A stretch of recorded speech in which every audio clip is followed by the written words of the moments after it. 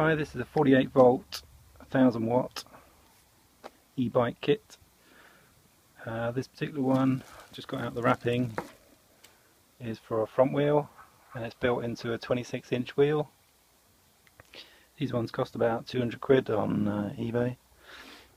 Um, the wires, as you see, go straight into the axle.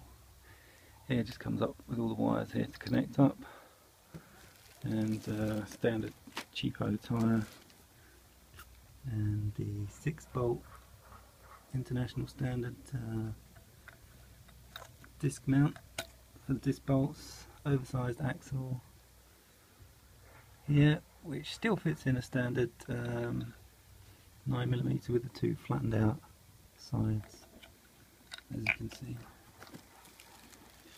This is the box of bits you get with it, some uh, instructions, cable ties and stuff. Little bag which you're supposed to put the speed controller in. A little box of bits. All these things here. These are the brake levers.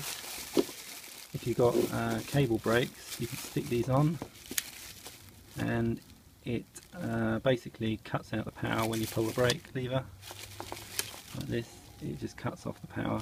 But yeah, fit any standard uh, cable brake onto that disc or V-brake. And it's got specific wires that connect into the speed controller. Kit I bought here comes with a little mechanical disc brake canister and uh, a throttle here which is the uh, thumb throttle here just click that to go on and off, turns the power on and off, and you just uh, spin that round like so, go faster and slower. Stick it on, uh, normally on the right hand side on the handlebars. This is the speed controller, aluminium box, got all the wires that you have to connect up. It's fairly straightforward, all the wires are a different colour for each thing. This kit has a little block here these three main uh, ones here connect to just to keep it a bit safer. And those are the three that connect to the uh, motor here.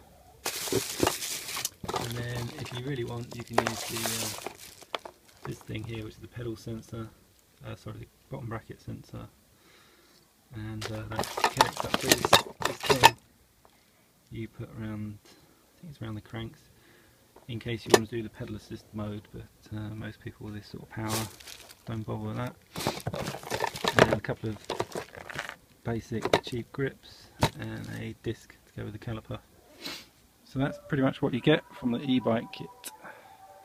Thanks for watching